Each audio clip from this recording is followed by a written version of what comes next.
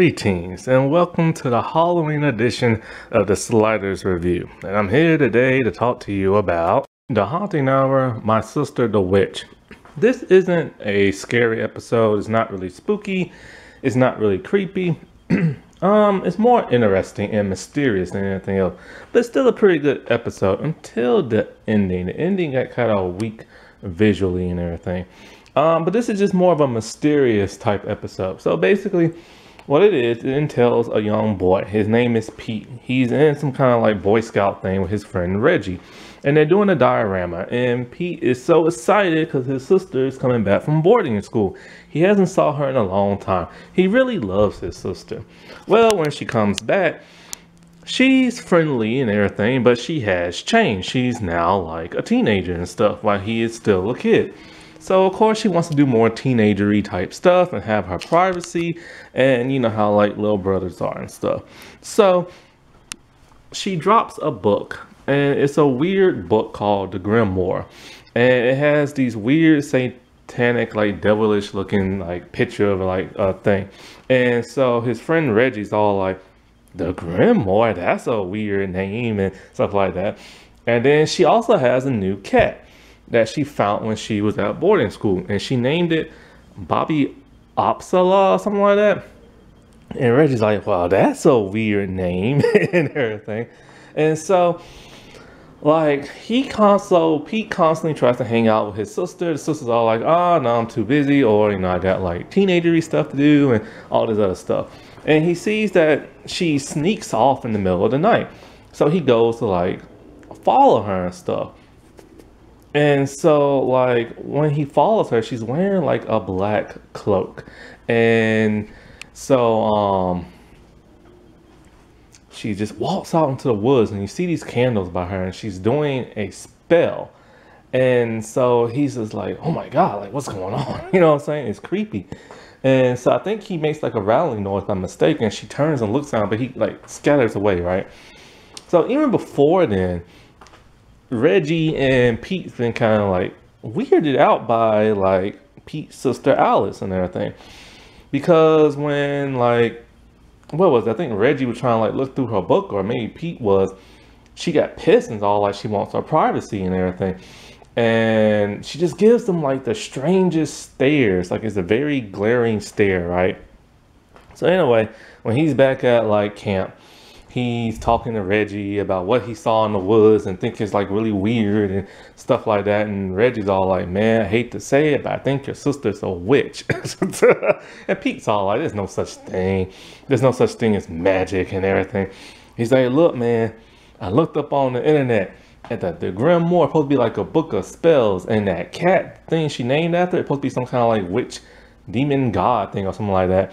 And so he's like, whatever, man. And, but then the camp counselor dude, Will, he tells them there's no such thing as magic, no such thing as witches. Science is the true magic and everything. And people would have called that magic many years ago if they would have thought science.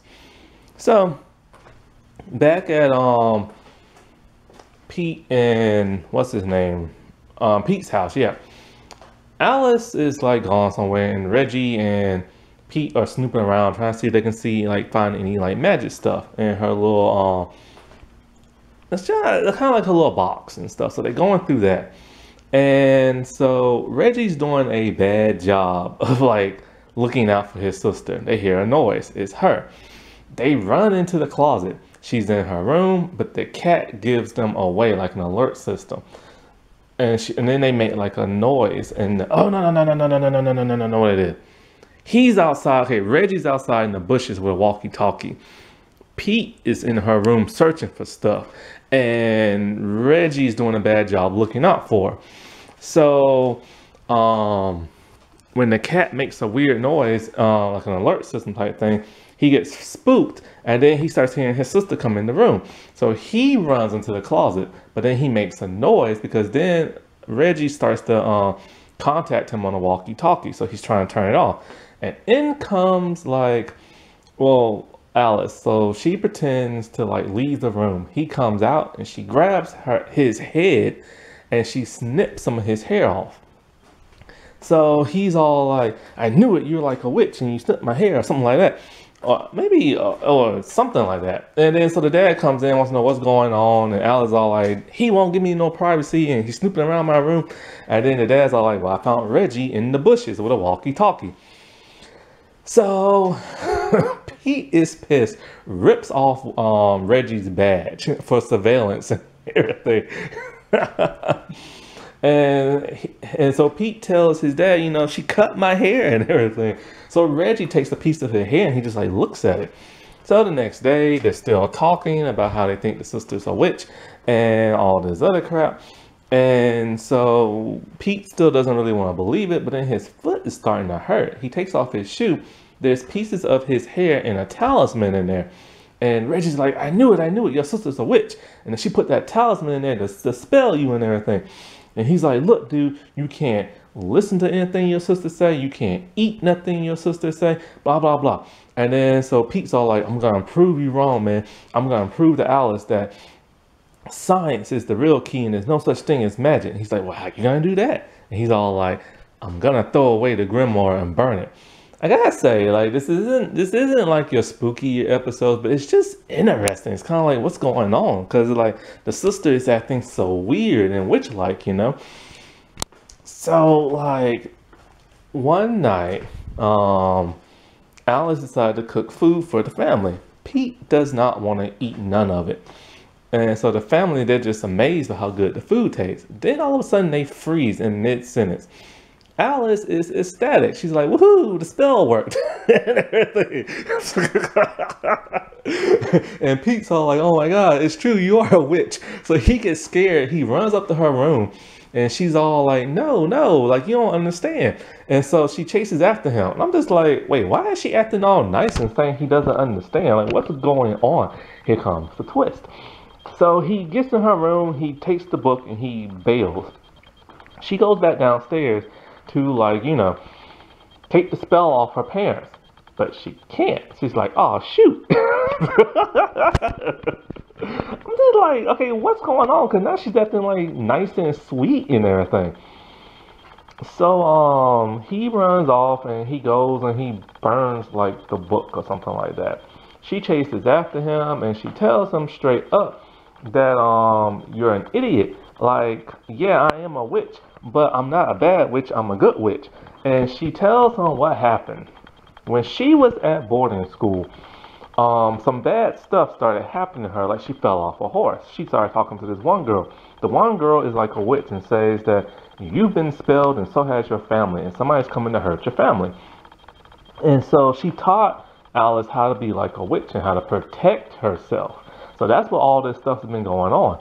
And so when they're back in the house talking about this, um, he said, Well, you put like a talisman in my hair and my shoe. And she's all like, I never did that. I took your hair as a protection spell. But then, so she tells him straight up, who is the one person who's always in the house and always like, um, in our, uh, and it could be like in our room to plant something in your shoe.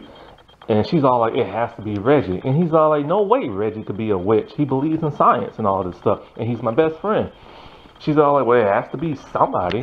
And then he's all like, well, Reggie did kept assisting you with a witch and stuff. So she tells him, like, she can get the truth from him, but she has to do, like, a um, barrier spell to keep him put.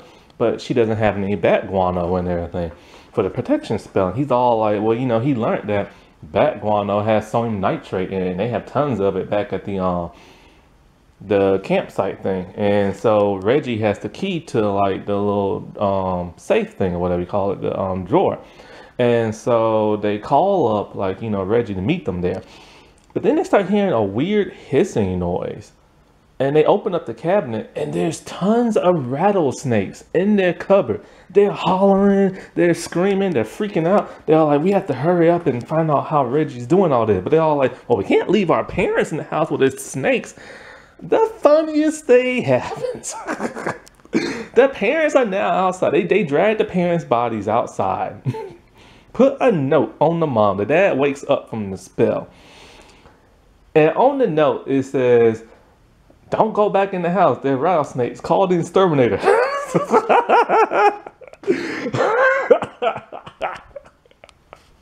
Oh, I love how quirky this episode is. So Pete and Reggie, they're at the campsite, and Reggie's getting him the um the sodium stuff. As soon as he hands it to him, there he's talking about how like man, I told you your sister's a witch and all this other stuff. So Pete like surrounds Reggie in like a, a barrier. Uh, uh, he pours like the salt stuff or the sodium stuff all around him, and Reggie's like, man, what are you doing? And then so Alice is there and she's chanting. He's all like, dude, like your sister, she's putting a hex on me, blah blah blah blah blah blah blah. So then she's trying to do like a revealing spell to show who is trying to curse her family in this little um, bowl thing. But it's too blurry, so she said it won't work. So Pete frees Reggie, and then so they're talking, and he's like, "I can't believe what you did to me, man. I'm gonna tell Will." Or Bill, what his name is. Well, Bill and Will are the same name technically. And then so Alice all like, Bill, Billy, Little Willie. and she's like, well, how do you know him? Apparently, now the twist has been revealed. She knew him back in school. He had a huge crush on her. He would not leave her alone. So she read one of his love letters out loud to the class and they laughed at him. And then, so they all like, you don't think he's holding a grudge this long, do you? And then he shows up. The dude is levitating off the ground. And this is when it gets bad. See, they, they, didn't, they didn't have the money to make him levitate. So what did they do? They show like his torso up uh, like to the head and they show him wobbling back and forth like he's floating. Then they show him his feet um, levitating off the ground as he's like, you know, because technically he's just holding up on something like a, a pull up or something, you know.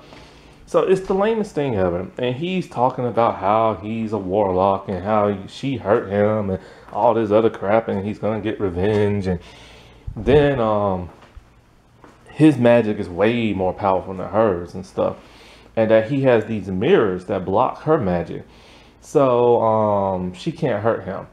But then she realizes, hey, if uh, well, I think Pete tells her this. If you know, Pete's all like, well, you can control Reggie because you still have his um, badge and everything.